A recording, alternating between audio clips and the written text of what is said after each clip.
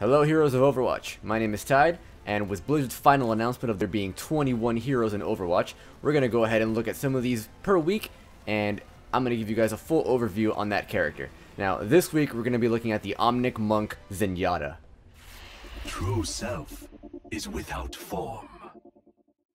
Zenyatta is a hyper offensive support character with a hell of a lot of utility. He has very little mobility, but that's not to make up for all the damage he can put out.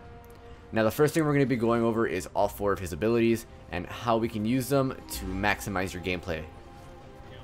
First we're going to start with Orb of Destruction. This is Zenyatta's primary fire. He uh, kind of does some karate moves and shoots out these little orbs. Now these orbs have very good range and very good accuracy. Their damage is pretty moderate and when you right click, you hold it down, he charges up his orbs and shoots about 5 I think at most.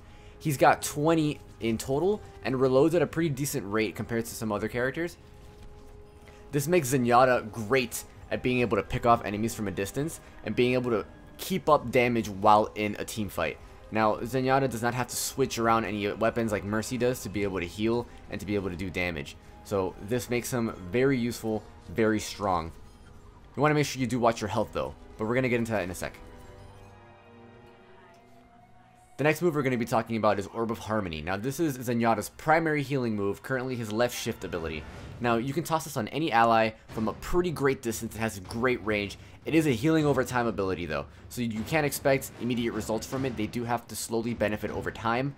Only one ally can benefit from this ability at a time, so you can't throw it on your whole team, you can just throw it at the one target that you want to make sure you keep alive. It's great for team fights, it's great for uh, supporting one person, it makes you a great pocket healer. Now, this move, despite using an orb, doesn't actually cost any ammo. So he throws his orb out, but your ammo remains the same. You don't have to reload, you don't have to worry about actually losing any of your offensive pressure when casting this move. The next move we're going to talk about is Orb of Discord. Now, this is Zenyatta's primary utility attack. It's his E. You throw an orb onto an enemy and increases all damage they take by 50%. Now, this move has an incredible range, and it's very, very good at picking off uh, high health targets. It also marks the enemy so you can see where they are through walls or if they're hiding behind something. It's great to mark Hanzos or Widowmakers. That way you can protect yourself from dying. They will kill you very fast because of your low HP.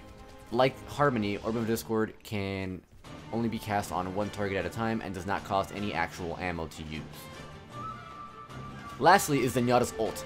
It's called Transcendence, and it allows him to transcend above all badassery, giving him a humongous uh, field around him healing everybody in that field and preventing him from taking any damage. Now, Zenyatta cannot be killed while in this state. His allies, however, can, and he heals everybody within that proximity. Zenyatta's ult can be a game changer. It allows him to hold points, keep points, or even push points if everybody can hoard around him quick enough. So for a quick pros and cons, we're going to go over the pros first. Now, Zenyatta's pros are definitely that he's hyper offensive, he's very, very strong, alone, he does a lot of damage. If you E somebody and you just start auto-attacking, or you E someone, hide behind a wall, and charge your right click, come out, and just shoot all five of your orbs, you're going to be killing people. They do a lot of damage, and he can apply some amazing pressure. Now, he also has a good amount of healing. He can heal some pretty big numbers. I wouldn't say he's as strong as Mercy when it comes to healing, but he can definitely hold the team together. His ult makes him very useful at defense and offense. However, if you're playing him as defense, you may not want to use him as your main support. You may want to use him as like an off support or a uh, just a pressure character. Because of his long range with his E and his auto attack, he can definitely pick off targets from very far away. Some downsides to Zenyatta, he does not have any mobility. He only moves as fast as he can regularly run, which isn't even that great at all. Zenyatta has very little HP. He only has 150. This makes him only as healthy as Tracer is, and this is a very big crutch in this character. Because unlike Tracer, who has such low HP, she can actually blink and teleport and reverse herself away from the fights. Zenyatta, if you turn the wrong corner and you get shot once, you're pretty much dead. You'll be on Widowmaker's kill list very quickly. You do not have any kind of survivability. However, there is a pro to this con. 100 of your health is shields. Shields charge over time, and this allows you to regain a lot of your health back without actually having to be healed. In the end, Zenyatta is an amazing support. He has a lot of pressure, a lot of team play with his ult. He's very great at taking points and capturing points uh, or holding down points.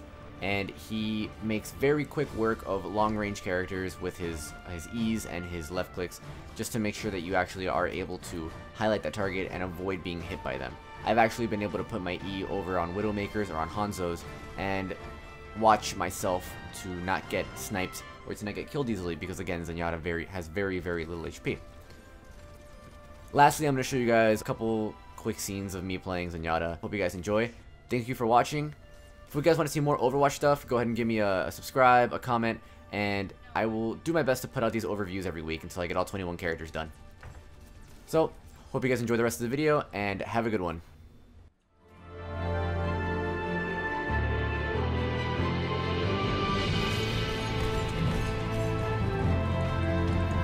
What do you do? I hear that shit's not very accurate.